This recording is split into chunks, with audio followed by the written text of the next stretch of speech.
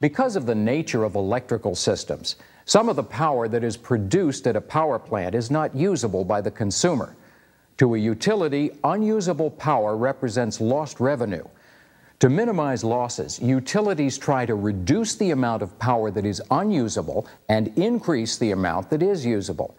They sometimes do this with substation capacitor banks and shunt reactors.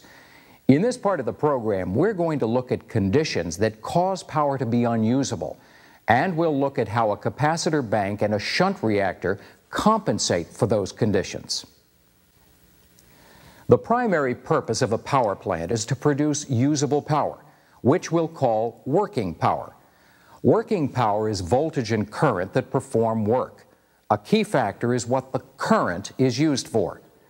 Some devices use nearly all of the current that they draw to perform useful work, such as the current that is used by incandescent lights, or the current that is used for resistance cooking. However, some of the power that is produced at a power plant does not perform useful work. We'll call this power non-working power. Non-working power is voltage and current that do not perform work. Again, a key factor is what the current is used for. Some devices do not use all the current that they draw to perform useful work. For example, an induction motor needs a certain amount of current called magnetizing current to create a magnetic field in the motor. The magnetizing current does not perform work. Only after the magnetic field is created by non-working magnetizing current can working current operate the motor and perform work. Transmission lines also need a certain amount of current that does not perform useful work.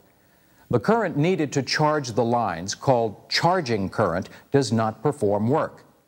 Long, high voltage transmission lines may draw a lot of non-working charging current in order to deliver working power from one location to another.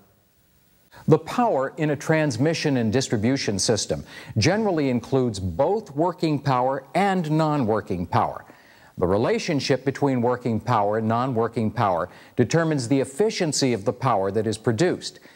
We can show this relationship using a simplified illustration.